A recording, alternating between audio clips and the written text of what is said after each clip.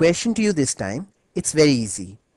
All you have to do is divide this monstrous polynomial that you're seeing here with this binomial in 15 seconds.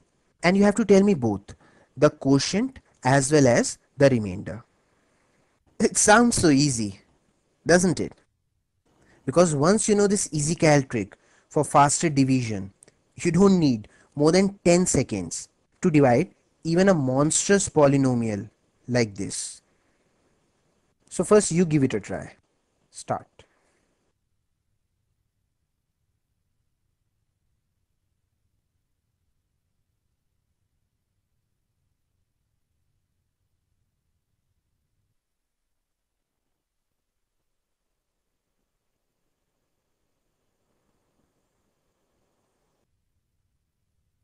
Your time is up.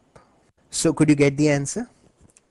Alright, I'll do it now. x4 divided by x is x cube minus 7x cube plus 10x cube is plus 3x square. And we get the second term of the answer. Now, minus 21x square plus 25x square would be plus 4x. And this is the third term of the answer. Minus 28x plus 15x would be minus 13.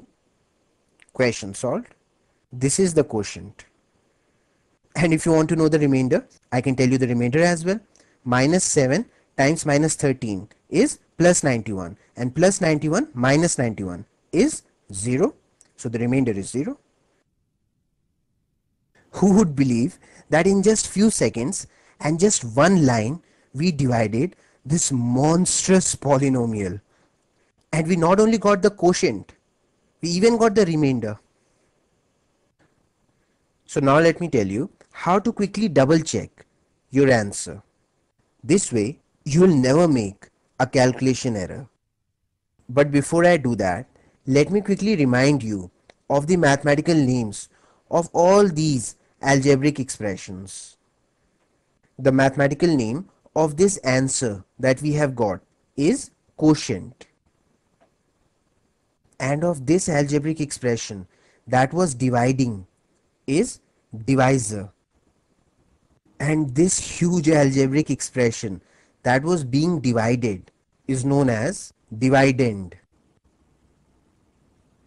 By the way, the correct English pronunciation of this word is actually dividend. But since dividend rhymes better with divisor Thus the students prefer to call it dividend. It helps them recall this word better. So whichever way you are comfortable, you can call it that way. I leave it up to you. And yes, the part that is left over is known as the remainder.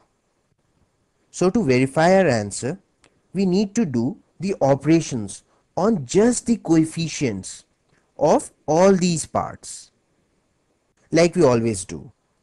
So 1 plus 10 is 11, 11 plus 25 is 26, 36, 36 plus 15 is 41, 51 and 51 minus 91 is minus 40.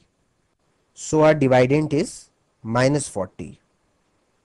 Similarly, the divisor is 1 plus 7 that is 8. And of course, the operation in between the divisor and the dividend is always division. But before we divide this dividend with this divisor, make sure that you subtract the remainder from the dividend. It is very important. Though in this case the remainder is 0, so it makes no difference. But had there been some non-zero remainder, then you should have subtracted its value from this dividend before dividing it with the divisor. Anyhow, I'll just put the minus 0 here so that you always remember to subtract the remainder. So now we can divide this whole thing by this divisor. So minus 40 minus 0 is minus 40 only and minus 40 divided by 8 would be minus 5.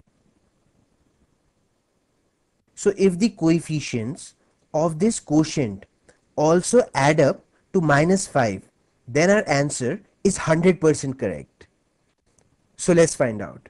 1 plus 3 is 4, 4 plus 4 is 8 and 8 minus 13 is minus 5.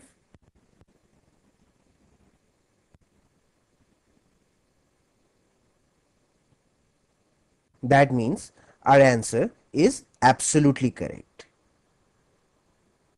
I will just put here the mathematical formula for you which gives the relationship between all these parts. Dividend equal to divisor times quotient plus remainder. So when this plus remainder comes over to this side, then obviously it will become minus remainder. That is remainder is going to get subtracted from the dividend.